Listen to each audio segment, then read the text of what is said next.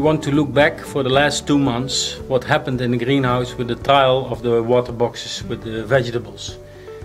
Um, when we look two months back, we had uh, very bad circumstances for growing because of the late uh, spring we had in Holland with uh, cold temperature, dry air and not so much light. The crops didn't grow that fast.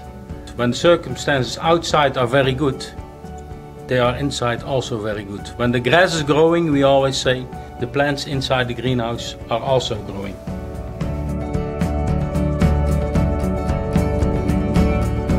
Well, here we see uh, plants grown in special boxes. These boxes are called rhizotrons. Uh, and these rhizotrons um, allow us to follow the root growth and the mycorrhizal activity. And mycorrhizal fungi are plant beneficial. What they do, they take up nutrients and water from the soil, here in this case from the, uh, from the ground in the rhizotron, and bring it over to the plants. And the plants are so grateful for that that they re return carbon from the photosynthesis, um, what they do with their leaves, uh, and they bring back the carbon in the form of sugars uh, to um, the fungi. On the right side we see plants that have not been treated with mycorrhizal fungi um, and they have just formed regular root system. The root system looks quite good but it's possible to get a nicer and more developed root system. And that is seen on the left side. This plant is uh, treated with mycorrhizal fungi and we see here very strong uh, vital roots uh, developed. Um, the root density is also higher and we see that the roots are sticking out, uh, growing out the bottom of the rhizotron.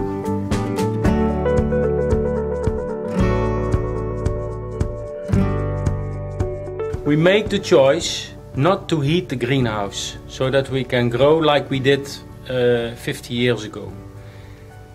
That's why the plants in the morning when the sun is coming are not picking up the climate because they are not warmed up and the temperature is going too fast, too high.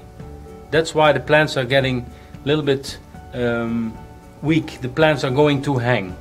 They are, cannot stand the, the evaporation of the, of the greenhouse. That's why they are not growing so fast. When we heat the greenhouse in the morning, the plant can better take up the climate of the day and we have no CO2 so there is nothing no CO2 almost no water and no heating in the morning. That's why these plants don't give the optimum production of a hydroponic system. We are only doing this on basic elements. The pollination for crops is very very important. Paprika and a pepper is self-pollinating but tomato needs pollination. We are using bumblebees. In the morning when the flower gets open, he's always taking the good flower and he's never mistaking.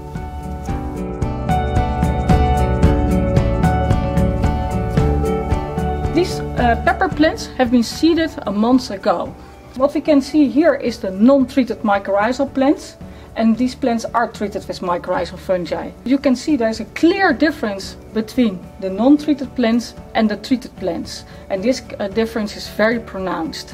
This is why we use a rhizotron. Here you can see the root development, which is really poor for the small non-mycorrhizal plant, while the plant that is treated with the mycorrhizal fungi has a very well developed mycorrhizal root system.